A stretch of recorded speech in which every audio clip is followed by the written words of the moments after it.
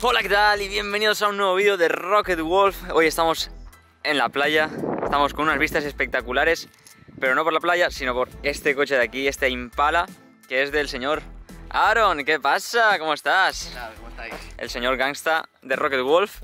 El gangsta blanco de España. El gangsta blanco. Nada, enséñanos aquí esta joya, este barco. Pues salta a la vista, ¿no? Como reluce aquí en la playita con el color arenita Sí.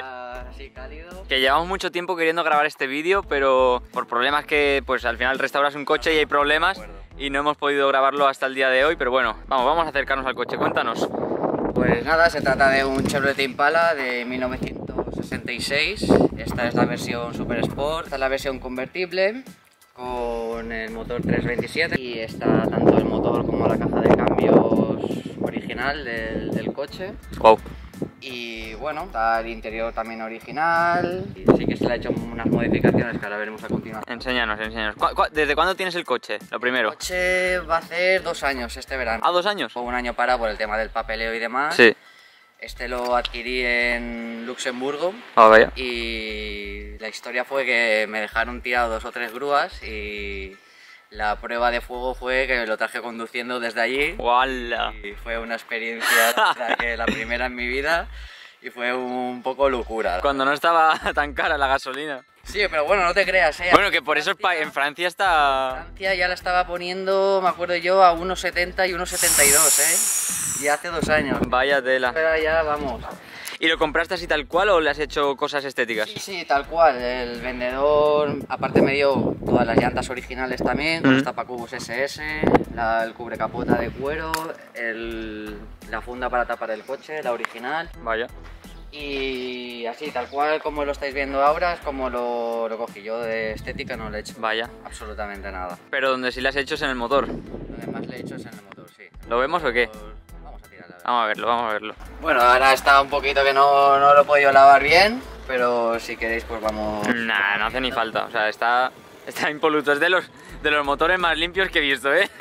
Gracias. Empezamos con que sacamos el bloque motor, Ujú. ¿vale? Eh, cambiamos, bueno, lavamos el motor por ultrasonidos, hicimos Por el ultrasonidos. asentamiento de válvulas, eh, porteamos las culatas también y lo mandamos todo a lavar. En el momento lo recibimos, pues ya ensamblamos los pistones nuevos, los ocho pistones de aluminio, pusimos el árbol de levas, pusimos todas las puntas del bloque, el- los resortes, taques y empujadores de Concams también, como la distribución y el árbol de levas. Luego, pues la admisión un poquito más alta, esta es una mid-rise, y el carburador Edelbrock, el Quadrajet, que es el que mantengo con el que compré el coche, que es el de 750 CFM. O sea, lo que has hecho básicamente es hacer una reconstrucción y, y restaurarlo, La ¿no? reconstrucción del motor, porque también tenía mucha ilusión en hacerlos, era algo que me llamaba mucho la atención desde hace muchos años, desde antes de tener el coche, Ujú. y que lo quería hacerlo a modo personal. Claro. Todavía le quedan cositas de detalle, pero bueno, que lo más gordo, por así decir, ya está hecho. Hemos puesto la bomba de agua también sobredimensionada de aluminio, de alto flujo, el alternador nuevo, motor de arranque nuevo, bomba de gasolina nuevo, de aceite. Hemos puesto unos colectores 4 a 1 también, más de... Sí que están nuevos, ¿eh?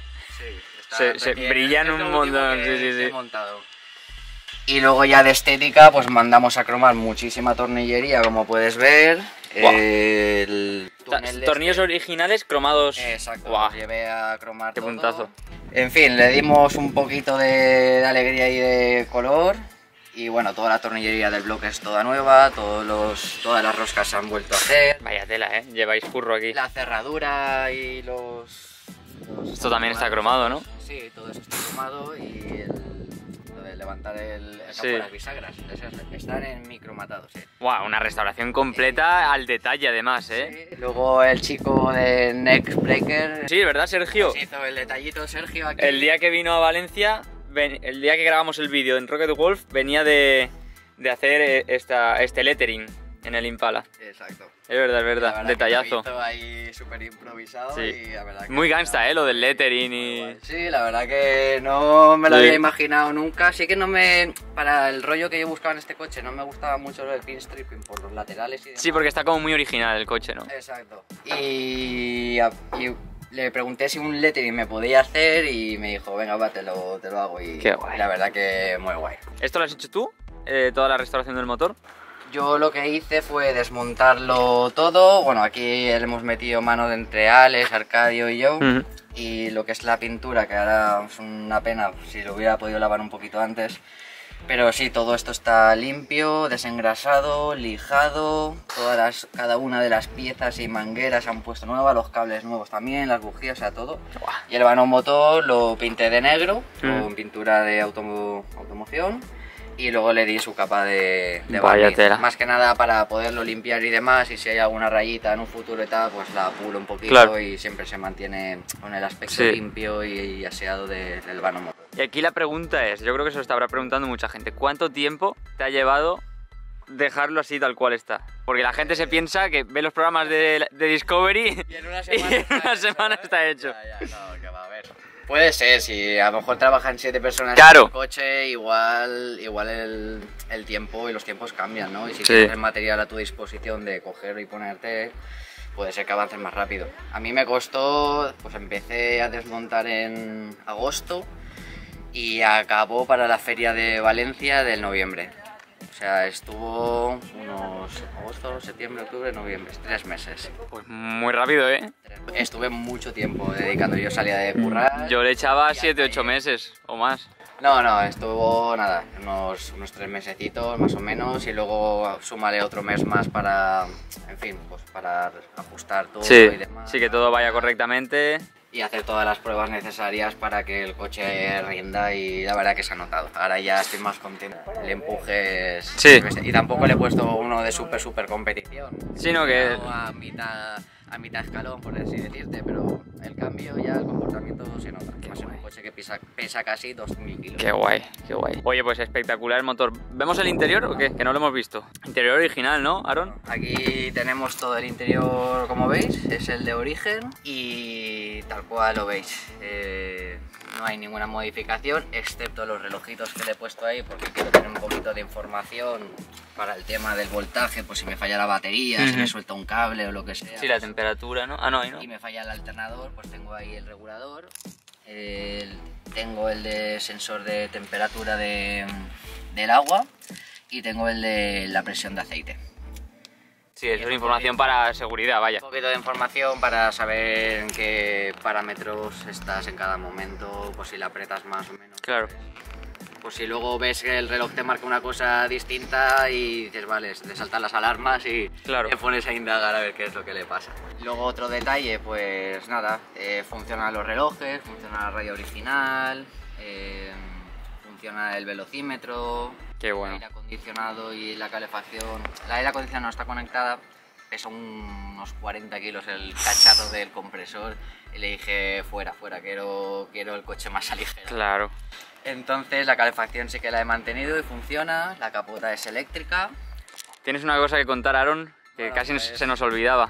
Eh, sí, eh, más que nada recomendación, los que tienen coches americanos, cuidado a la hora de comprar piezas por Facebook y demás con los timadores, porque tuve una experiencia muy mala cosa de un año y pagué por algo que jamás me llegó y al final tuve la suerte de conocer a una gran persona, que en este caso es Chris Corces, que está ahí en, en Los Ángeles, un saludo señor, y fue gracias a él que pudimos recuperar el dinero bueno. y seguir con el proyecto, así que es una persona muy recomendable, pues si queréis comprar... Dejaremos su, su contacto abajo en la descripción, pues Vale. Facebook, ¿no? Me imagino Sí, que... Sí, Facebook, Instagram... Vale, pues lo dejo en la descripción, claro.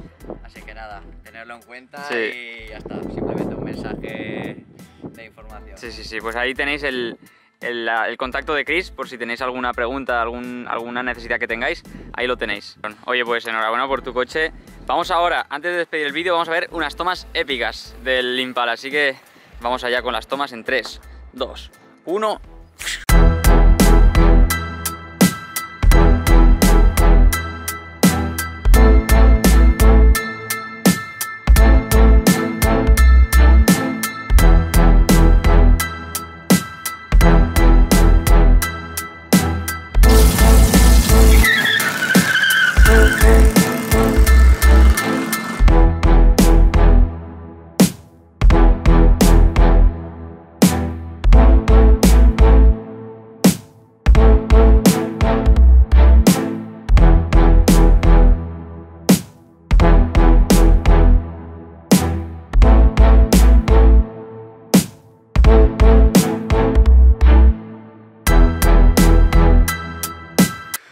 Pues espero que os hayan gustado las tomas épicas. Eh, espectacular, Aaron, el coche. Eh, lo tienes perfecto, es un- una, unidad espectacular, única, que se ven pocas.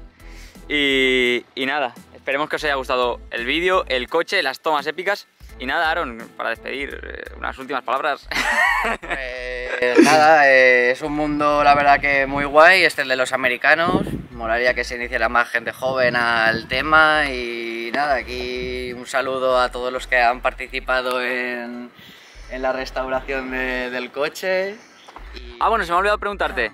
¿Tienes pensado hacerle algo más al coche? Sí, sí, hay más cosas para hacerle, la caja de cambios, el tren trasero, el diferencial, eso en cuanto a mecánica, los frenos de disco y luego ya saltaría ya estética. O sea, que aún te queda, aún te queda. Sí, pero ya con... Esto es un ya no, un no parar. Ya, encima con la gasolina, Ya, macho. nubes, que no Ya. me van a dejar seguir haciendo Ya. inversiones del coche. Ya. Que si lo quiero sacar a pasar de vez en cuando ya tan limitado. o, bueno. o- o almorzar o pasearlo. Exacto. Pues nada, Aaron, eh, muchas gracias por mostrarnos tu coche. Y no olvidéis darle a like, suscribiros, comentar y nos vemos en los próximos vídeos. ¡Hasta luego! If you wanna buy a car, go to Istanbul. Go to Rocket Wall. Go to Rocket Wall. Go to Rocket Wall.